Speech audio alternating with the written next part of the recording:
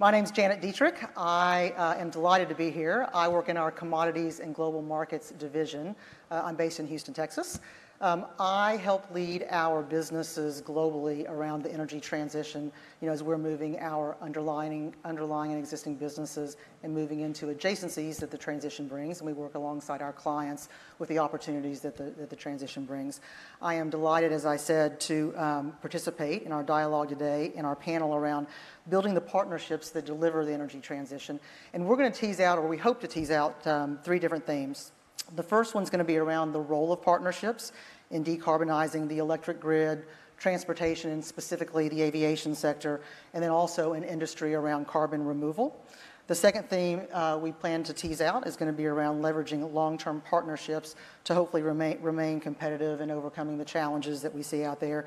And the third thing is going to be the importance around the policy frameworks that underpin all of this.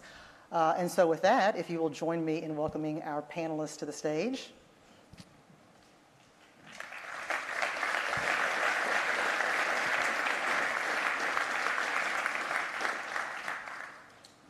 And I know many people probably know already your businesses and who each of you are, but I'm going to take a shot at um, summarizing and introducing each of you. Uh, and the, uh, the, uh, the CVs were very long, so I'm sure this is not going to get to it all. Uh, we have Cordi O'Hara. Cordi is the president of National Grid Ventures, and as I understand, is soon to be uh, leading the National Grid's electricity distribution uh, area. I think that's going to be in April or May, as I understand. That's right. In your current role, you're responsible for the development, financing, construction, and operation of large scale energy assets. Um, she began her career actually where I did. We have something in common around trading uh, power and gas at Centrica operations, et cetera. You were uh, importantly the director of the UK system operator here in Great Britain. Uh, and prior to joining um, National Grid Ventures, you were the COO, lived in the US, I understand, of their, their gas distribution business. So thank you and welcome. Thank you. We have Philippe Lacamp, uh, the CEO of SkyNRG. Uh, I know Philippe and I could sit here and talk for hours, uh, as we did a few minutes ago before this, uh, around um, the aviation sector and sustainable aviation fuels. Um, Philippe has a long-standing career in the aviation space, spending over 30 years with the Swire Group, and I think the majority of that uh, were in senior management positions with Cathay Pacific Airways, most recently as the Chief Risk Officer. Um, prior to Swire, uh, Philippe held senior positions around bioenergy and came to SkyNRG in 2021, and you've been a real leader in the important area of sustainable aviation fuel, which we will tease out in a minute. And then, of course, our partner Nick Cooper with, uh, with Storegga. Um, uh, Nick has been the CEO of Storegga since 2019, has spent much of your career uh, in the international upstream oil and gas um, uh, sector as well as corporate finance. Prior to Storegga, you were CEO, I understand, of Ophir Energy, if I said that right, and then, of course, the CFO at Salamander uh, Energy. You were a member of the energy and power team at Goldman Sachs, and importantly, started uh, as a geophysicist by trade, I think. So, welcome. Uh, we have a lot of content that we're going to cover here, I have no doubt.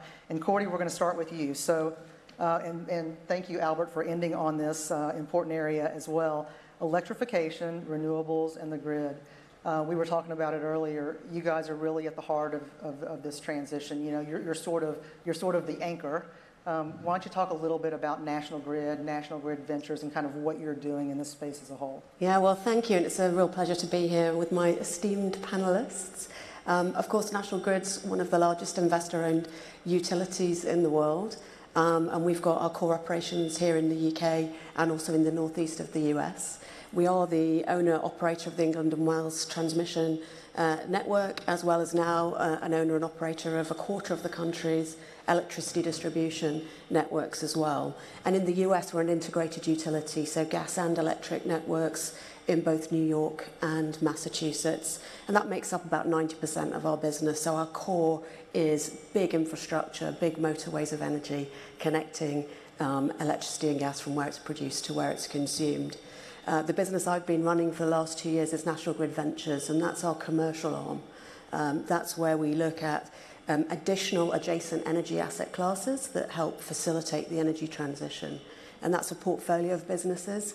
Here in the UK, we've got the largest uh, liquefied natural gas terminal in Europe, and that can supply up to 25% of the UK's peak demand for gas on a winter day, so very, very critical asset uh, this winter, as well as a growing portfolio of interconnectors, so big motorways of energy between countries. And, and we're connected to five, and we're building our sixth right now, and I'm, I'm hopefully we'll get a chance to talk about those. And then in the US, um, we have a broader set of activities, including uh, generation activities, both traditional generation on Long Island, as well as onshore renewables uh, in the Midwest, and now a very important strategic partnership with RWE for offshore wind in the New York Bight. So we are at the heart of the energy transition. Uh, we see uh, the role of grids as critically important to enable clean energy transition, as well as understanding the criticality of reliability and affordability. And of course, our final role is as the system operator here in the UK. Uh, you brought up interconnectors. I'd love to go into that a bit because I didn't, you know, I, I understood a bit country to country what you guys had been doing um, the interconnectors. Talk a little bit about, you know, especially the five that are in service. And I saw the video a couple weeks ago on, I, I told you about that, the North yes. Sea Link, and just the, um, the, uh, just the preparation that goes into that and what that's all about. Uh, it's, it's just a, a magnitude uh, of a project. Yeah, well, thank you so much. I'm very proud. I'm not allowed to have a favourite, but of course, the Norwegian link, the North Sea link, is the longest subsea electricity interconnected cable in the world, 450 miles, uh, linking Kvilldal in, in Norway to Blyth here in the UK. Thank you for talking in miles versus uh, kilometers. Yeah. 752 uh, for those who want the conversion.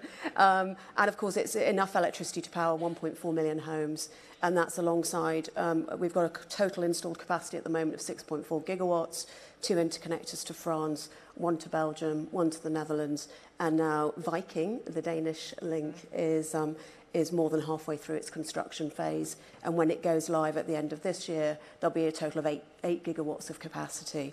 And of course, you know, massive feats of engineering to uh, deliver, uh, you know, high voltage direct current cables um, across, uh, you know, waters, um, conversion from, um, from direct current to alternating current and then into, into the sort of system operation that delivers ultimately those power to people's homes. Um, a really critical feature for us this winter in terms of security of supply.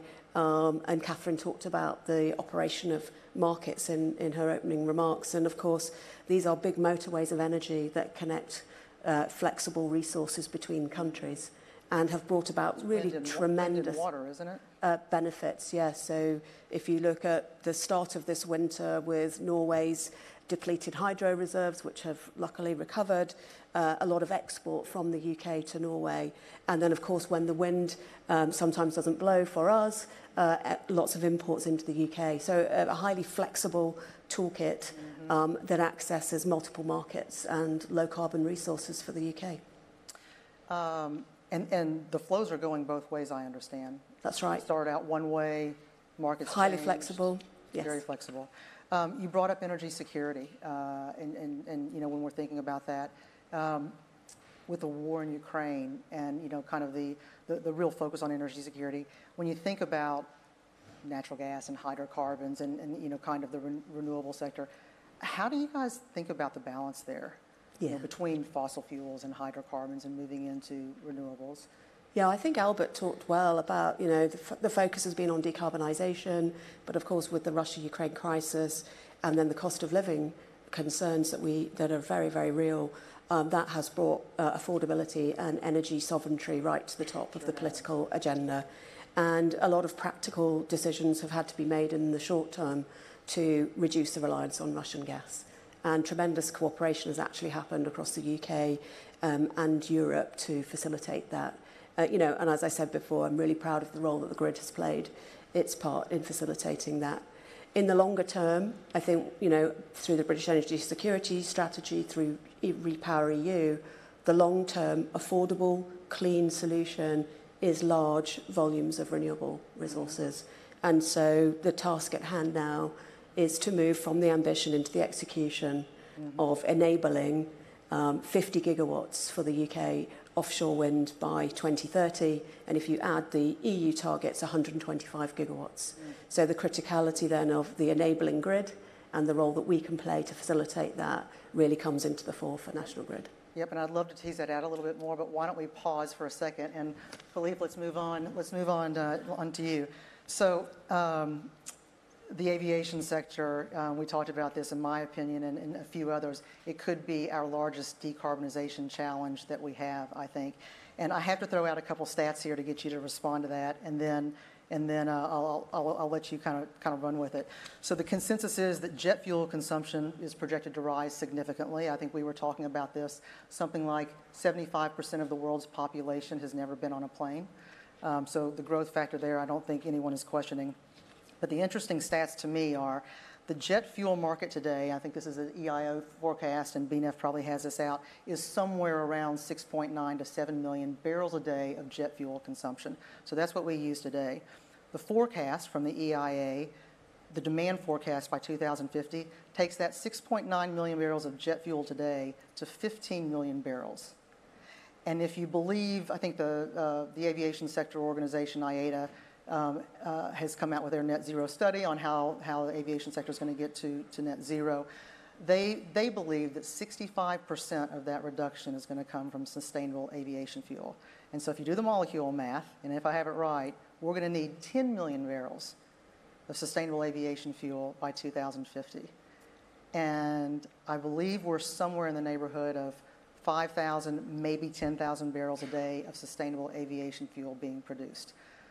So how are we going to get there? yeah, it's, it's, tiny. It was, it was quite revealing. It, it, didn't feature in Albert's projections at all. It's definitely the hardest to abate uh, user of liquid fuel. Um, how do we do it? I mean, hearing about the challenges to the grid, you know, I mean, like renewable electricity being a key feedstock ultimately for the production of certain fuels.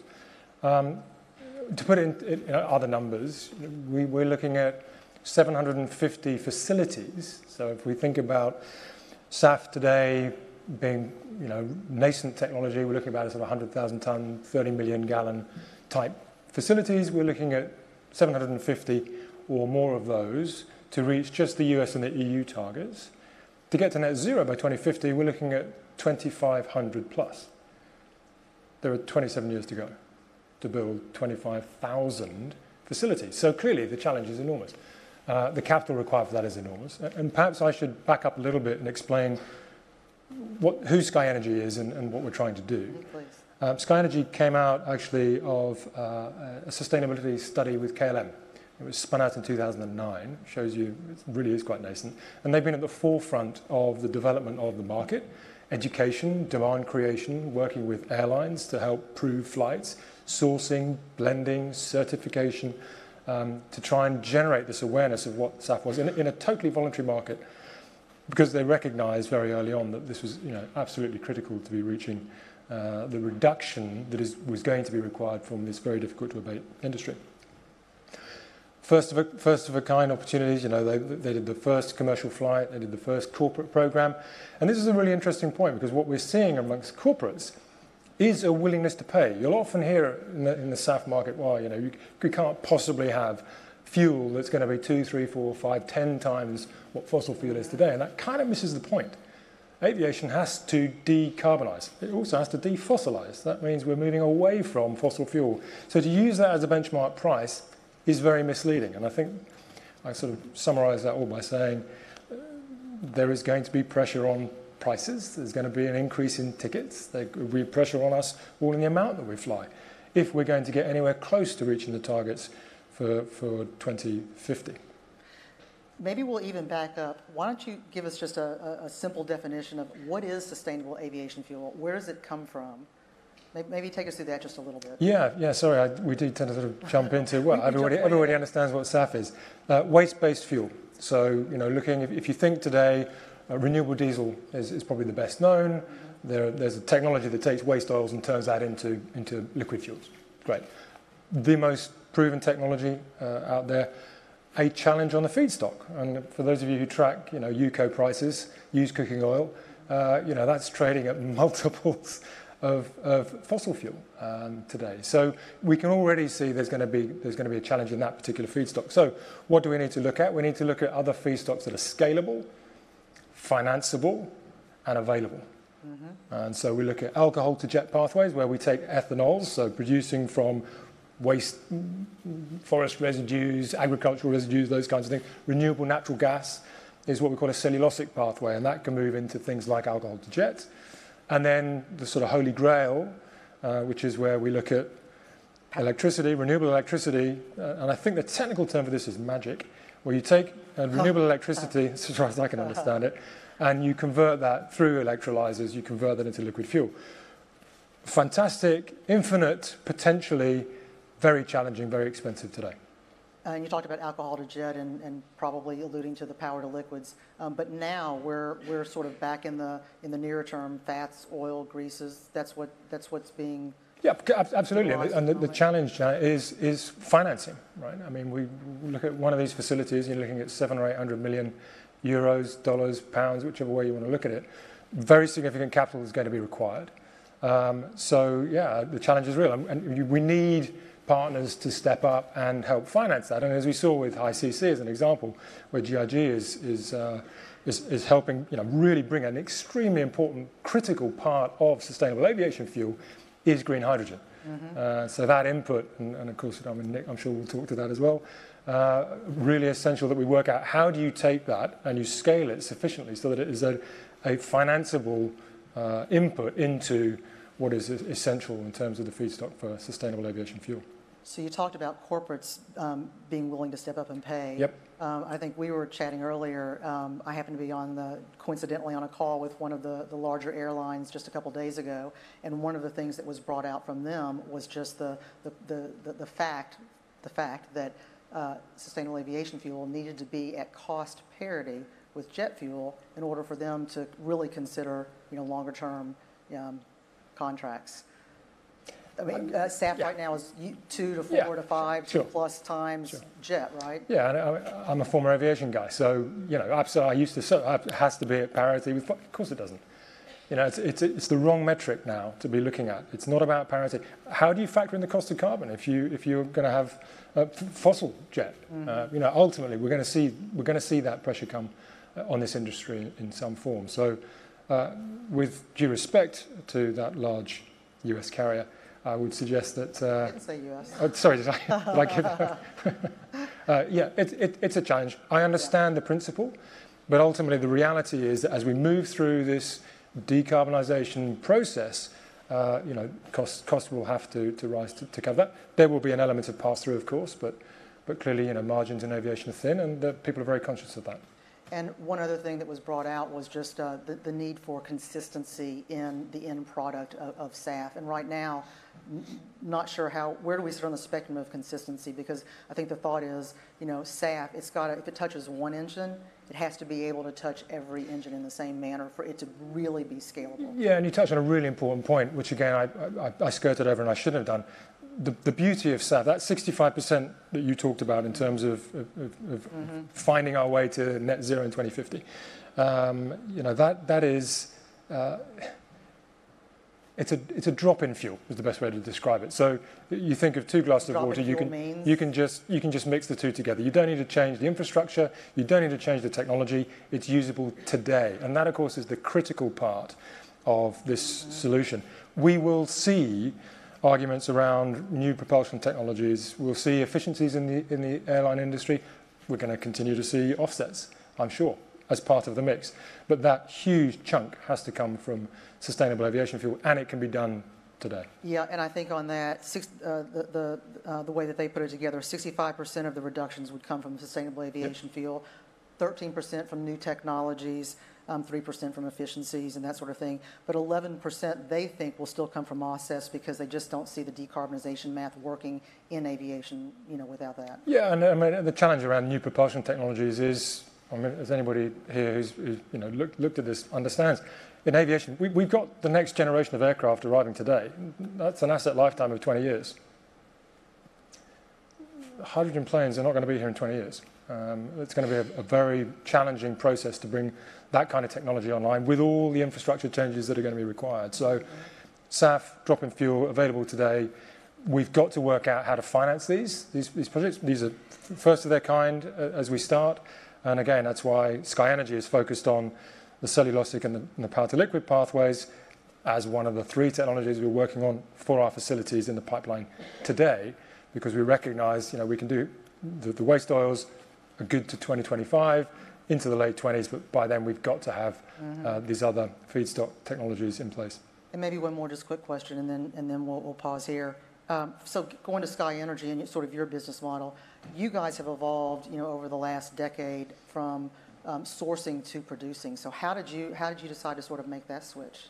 Yeah, I mean, it's really a natural progression. So when you start as the educator and the demand creator, and you realize that there isn't a lot of fuel around, and they're working, and we talk about partnerships they're in a collaboration with with Shell, as an example, really essential. Mm-hmm. I think actually Mel Lane's here today. You know, really important collaboration part, teaming agreement with Boeing, same thing, very important- Mm-hmm... part of that that particular puzzle. Yep. Terrific. All right, so let's change gears a little bit, and Nick, move over to you. So Storegga, your sole focus, I think, has been really on net zero infrastructure, but particularly, at least initially, around carbon capture and storage and basically the value chain that that facilitates. Um, it's really had its struggles in the past, um, not Storegga, but carbon capture. Yeah. Um, and especially over the last decade, last couple decades probably, it just really hadn't got the momentum that it seems like it might be getting now.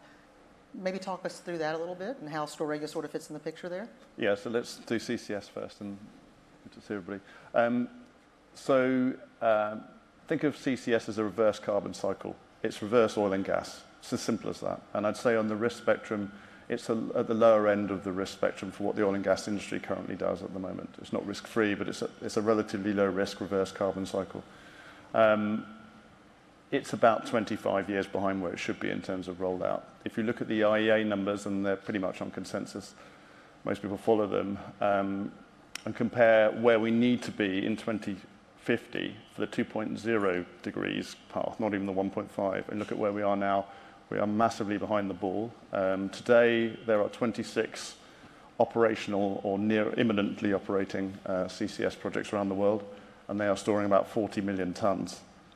They need to scale to 6 gigatons by 2050, and that means, depending on the size of the project, between 2,000 and 3,000 equivalent projects with multiple users, i.e., multiple emitters, getting their CO2 into the ground. That is the equivalent. Now, on on Albert's charts, CCS was a- A very looking- tiny I was looking sliver for it, in there, actually. Uh, relative to the money that's going into EV. And this is not an instead of anything, this is an this is a, these are additional tools that need to be laid alongside everything else that we've talked about today and will get talked about, and they are massively behind the ball. It's not complicated. There's various reasons why it is behind the ball, uh, Partly because the skill set sat in an industry that was very busy with its day job and wasn't mm-hmm. induced to focus on it, which is oil and gas. Um, and um, we've got to play catch up really quickly. Uh, we have got 27 years, less than that now, and to get to 6 gigatons is not far off the equivalent of building out, in 27 years, the entire scale of the current international oil and gas industry. Yes, That took 120 years to get to that scale. We need a reverse carbon industry, almost akin to the oil and gas industry today, to get to 2.0. So that's scary fact one. Scary fact two, and I promise it's my last one, is one of the derivative technologies of CCS is direct air capture. Horribly expensive at the moment, got to come down the cost curve, and we can talk about that if you're interested. But the sad fact is that as great as nature-based solutions are, and I'm as big a fan as anybody in this room, I live on a farm, we're planting 10,000 trees, so it's not an either/or situation.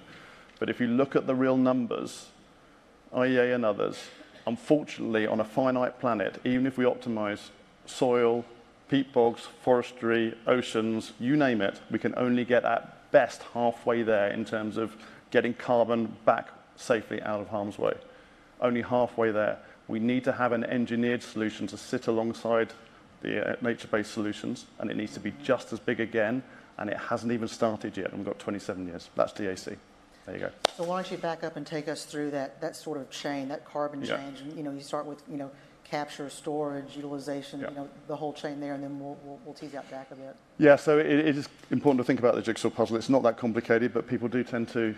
You tend to see technology companies picking one bit and sort of describing it as if it's all of it. It's not. Um, it's an integrated value chain, very much like LNG or any gas value chain would be, but in reverse. Um, it is a waste management value chain. It's lower margin than oil and gas through the cycle, and that is really important. To make this work, it needs to be cost-effective for for customers, which is emitters, both with chimneys and without. Um, but the way to think about it is in three components. There's where the CO2 comes from, there's then how you get the CO2 from where it came from to the store, and then there's a storing bit. So just quickly on those three bits, if I may, and there's a cost stack, there's a cost equivalent with each of those three activities. The CO2 comes from generically four areas. It's capturing CO2 that's going up chimneys, so industrial and power. It's the manufacture of blue hydrogen, and it's two engineered removal areas, one of which is bioenergy into CCS, so like what Drax is doing here, and the other which is direct air capture. There are four generic areas where CO2 comes from en masse. You then need to move it from those point of captures, so there's a capture cost, there's a transportation cost, a midstream bit, and then there's a storage bit. It's a storage cost. Now, most of the storage is going to be offshore. Think of them as waste disposal sites for multiple emitters. It's not that much more complicated than that. But it's the cost stack of capture, transport, storage that you need to think about and then compare how that quantifies to either the tax incentives or the carbon price in a particular geography. Now, on the transport or, or shipping piece, that's kind of there already. That's kind of already happening. Uh, yeah, I mean, it's not, it's, not, it's not hard to move CO2 Yes, around. It's just right, the industrial right. gas. It's not complicated. Yeah. Right. Um, the cost of these projects, these are Mm. really high dollar projects. Yeah, It- it- they, they are quite pricey. The best way to think about it, though, is really on a dollar per ton basis, if we can. Um, so my rule of thumb is if you're looking at a, a, a, a, a total co- all-in cost of capture, transport, and store for CCS of between uh, $80 and $140 a ton, that will get most emitters actively thinking, I'm better off to store my CO2 than to emit.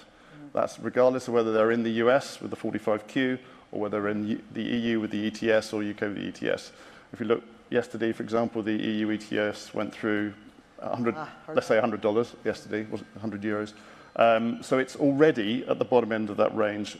This kit needs to be built, so people, if you're an emitter sitting you know, uh, in- in Europe now, you are looking forward over a three, four-year build cycle at the carbon forecast then.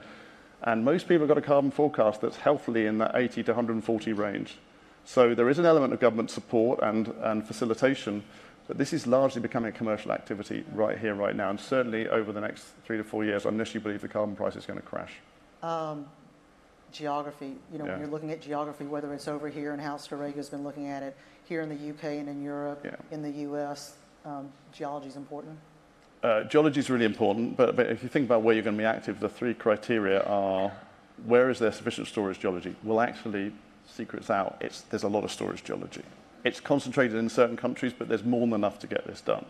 The UK and Norway have probably 90% of Europe's total, which is a bit of a geographic anomaly, a geological anomaly, but that can be solved for. Um, where are there enough emissions? Well, sadly, there's a lot of emissions. Um, but in terms of cheap to capture, they are, tend to be concentrated in big industrial areas. Fine, you twin the two together. You've then got where does the government want to get stuff done? And sadly, the paces are very variable around the world. Um, even in the last 18 months, we've seen in our business alone a complete reversal of pace. Um, 18 months ago, on the back of, well, 15 months ago, on the back of COP26 in Glasgow, UK, our home market, was going flat out. We were in top gear, doing CCS, hydrogen, direct air capture, our three main business lines. Since then, the UK has, if we take Albert's diagram, has probably dropped the baton. Um, the US, of course, has accelerated. Thankfully, we had a, head, we had a bridgehead in the States before the IRA, but we are now flat out in the US.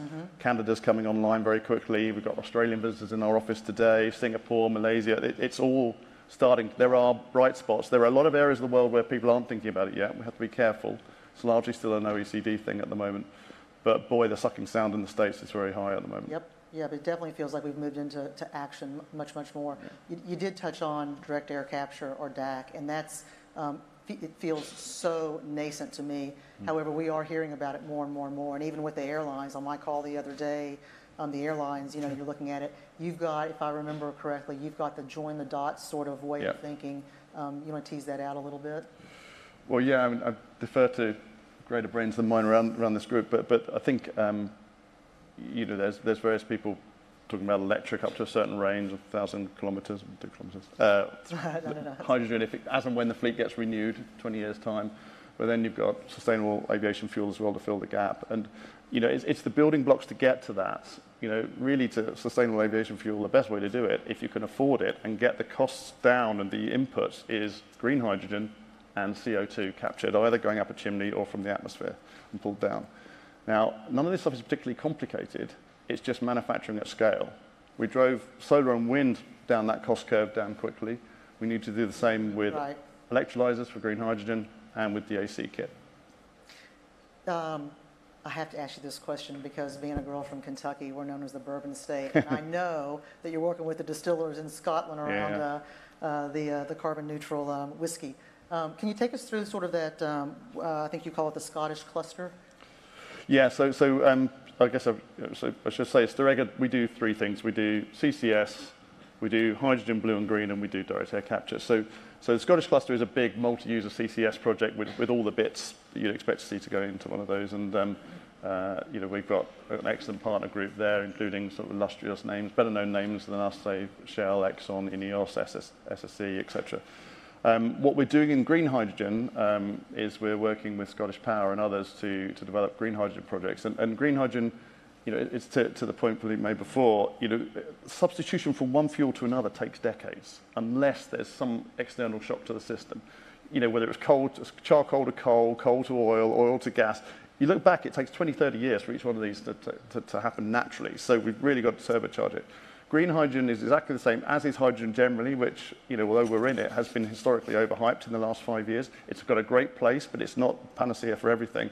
And it's partly the substitution effect. The, the question is, how quickly can you see the demand ramp up? Mm-hmm. The great thing about distilleries in Scotland is that I wouldn't say they're price insensitive, but the input cost for energy is only a relatively small part of their cost structure. And so the benefit in terms of having differentiated products that are truly net zero um, outweigh the, um, the, the input costs in, in, in that higher margin business. Um, and so, yeah, we, it's a popular field trip, but we're, you know, we'll be building Yeah, I wanna probably sign up for UK's first um, operational green uh, hydrogen project, and it'll be the, the, the distilleries are amongst the early customers. And you're talking about green hydrogen, uh, uh, and maybe we'll go into partnerships just a little bit. Um, maybe I'll, I'll, I'll kick it over to you. Um, the, the HyCC uh, partnership that, that we all are, are involved with together. Um, green hydrogen's, you know, obviously a key there. Yep. Maybe chat a little bit about how you guys are looking at leveraging off of that project into uh, the SAF world. Yeah, sure. I mean, it's as you said, it's it's an essential feedstock. Um, I think we, we, you know, there are some slightly outlandish prices, uh, low prices that are being thrown around uh, a little bit. I think there's a sort of expectation management piece that, that needs to take place, and Nick, Nick's alluded to that. Uh, HyCC, you know, a critical part of the, the project that, that uh, SkyNRG is developing in in Delfzijl, which is, uh, is, is a waste oil. It's a, it's a differentiated strategy, actually. Uh, sustainability criteria are really, really key for the positioning of SkyNRG. So, um, so in, fa- in fact, as an aside, we have, uh, we're RSB certified. That's the Roundtable for Renewable um, Biomass, uh, Biomaterials, rather, um, as part of that. So, you know, the, green hydrogen component is, really critical for us. And it's proving it out. Um, and obviously, what we then hope is that as we're able to be the off-taker for HCC and as KLM are the off-taker for the fuel that comes out, know, that allows these projects to be de-risked to a degree to enable them to be financeable because ultimately all of this comes back to being uh, finding people who are able to de-risk, the partners who can help you de-risk the, the, the, Right. around the entire ecosystem and allow that then to be financeable. Right.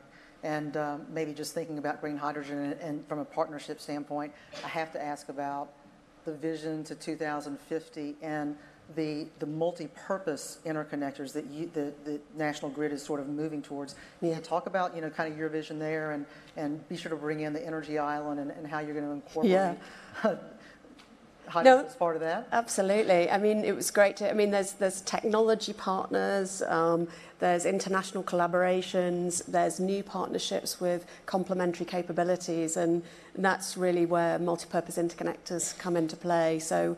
I talked to you earlier about interconnectors, which are really point to point. You know, they're an energy, uh, a, a source of energy channel, uh, HVDC link between two countries. Um, but I also mentioned the criticality of accelerating, and enabling the offshore wind targets which will reduce our dependency on Russian gas, localize our energy resources, and bring about some of the lowest cost electricity production on scale. Um, what multi-purpose interconnectors do is create unique partnerships. We've already got great partners across the end of those interconnectors, the European transmission system operators who are joint venture partners. Um, but we've also envisaged that this infrastructure can be an accelerator enabler for offshore wind. Um, so multi-purpose interconnectors serve two key roles. They allow the transfer of electricity between two nations, Um, and they also allow and enable offshore wind connections. So we were very, very excited to um, participate in our recent regulatory process, which was with Ofgem, our UK regulator. They opened up their first window for pilot programs for these infrastructure deliveries, and we've had two selected, one to Belgium and one to the Netherlands. So we're now in um, you know, negotiations over the next six months that will define uh, the business models and regimes that could bring that infrastructure to life. Um, but the other dimension of partnerships is acknowledging, you know, we've got the, the North Seas and all of the continents surrounding it. Um, and I think, I'm, I think Giles is sitting just behind me, um, who's the CEO of Wind Europe, and I'm, I'm very proud to be part of his board, but partnerships um, need to be very extensive in their nature. You know, Giles is leading um, a 600-member organisation over 50 countries, looking at um, um, how we can accelerate wind resources, the supply chain, yeah. and um, back to execution, pace and scale, you know, really drive through and remove the blockers to what needs to be done in the timescale we've got. And just to put it in perspective, for National Grid, we've got to deliver about five times the amount of infrastructure we've delivered in, in the last 30 years in the next seven years to make this happen. Um, so it's um, not a vision to 2050, it's a vision to, 2000, there's, to 2030. There's a 2030 vision, and of course, there's good. a 2050 vision. Right. Um, and so we will need collaborations and partnerships beyond all of our borders, because to achieve the pace and scale, Uh, we will need the critical sort of administrative unlocks that we might that we see collectively across the board on permitry we need the collective unlock on anticipatory investment for grids because that will be the enabler to get this power to to shore. And then we need unique political partnerships um, where actually we look at the, the resources needed, the supply chain capacity build that's needed um, to, to unlock everything in front of us. So, you know, I was excited about the partnership aspect to this. Um, I think the, the countries are in, in competition, and rightly so, that will drive, drive, drive through cost and innovation. And at the same time, we've all got the same targets, the same goals, mm -hmm. and the collaboration and um, across fuel types, countries, nations, nationally, locally is, yep. is going to be part of the picture. Yep, no doubt. I think you call that the trilateral partnership sort of a, a, a thought there. Um, and is that, and, thinking about that, and I know we're going to run out of time here in one or two minutes. Two minutes, here we go. Um, I want to touch on policy and, you know, thinking about the partnerships and thinking about the good learnings that, that you guys have had. You're now in a partnership uh, over in the States on, on Wind with RWE, I think. Um, maybe just touch on policy real quick and, you know, kind of this whole race, potentially the race to the top with, we've talked about the US IRA, what the EU is doing. You know, how are you guys thinking about that as it relates? You've got operations, I think all of you, uh, in the EU, uh, in the US. Um, maybe, maybe we'll start over here and just uh, close it out with a, a note on policy. Uh, on policy, well, I think uh, an interest, it'll be interesting to see how the EU reacts um, and if the UK reacts at some point as well. But uh, in terms of the IRA, I think that I think that a lot of people don't appreciate about it is it's a use it or lose it benefit. You know, certainly in our areas, you've got five plus seven years, and if you don't get in the game early, you lose some of those years of tax benefit. That's a heck of an enabler to get people to make decisions now, not in five years' time. That is that's not talked about very much, but that really gets people up and add a bit of American go for it type mentality as well to it. But it's mostly that use it or lose it window. Mm-hmm. Uh, and I think it'll be interesting to see if the, uh, the EU's response is similar. It's a little bit of the, the carrot and the stick, right? Yeah. Talking of which, uh, yeah, that's exactly what we see, the mandate side in Europe, which from an investor perspective, you can argue fantastic. You know, binding legislation, 25 years, very clear what we've got to do, got to deliver. Challenging, probably means some imports for certain types of the, the, the sub mandates for certain types of fuels. Um, in the US, you know, stackable incentives in our world at the moment, eight bucks a gallon. Um, you know, so if we're looking at, let's say, 12 bucks probably for production, you're actually at that, what I said we shouldn't do, but that you're actually at almost at parity with fossil fuels. So again, great enabler. We probably need a bit of both in, in both, mm-hmm. and, and I think that's where we would hope that, um, mm. that that manifests. Yeah, you can debate which one which one do you lean do you lean towards, but you, you probably need both. You, you, yeah. yeah. we need it all. And anything from a policy standpoint relative to uh, how you guys have moved your business along? Yeah, I mean, I how think you plan to move it along. I think it's testament, you know, for the the scale and pace at which we need to move. You can envisage important big policy unlocks to make that happen. Whether that drives the technology innovation to move the cost down, to localize and, um, and diversify the supply chain. So there's lots of benefits from those mechanisms. Um, and so, you know, we've seen now the EU follow with, the, with their Net Zero Industrial Act, um, and we need to keep the focus on the pace, the scale, um, the unlock, um, and um, you know that that's the critical role that these mechanisms play, and they're needed, and they need to be optimised, and we just need to avoid unintended consequences with regards to the supply chain, which will be uh, the capacity, you know, needs to more than double to meet meet these goals. I think that's a perfect way to maybe uh, end it here. Thank you all quite a bit. Uh, we appreciate it. We can, we can all agree, I think partnerships will be absolutely critical as we move forward.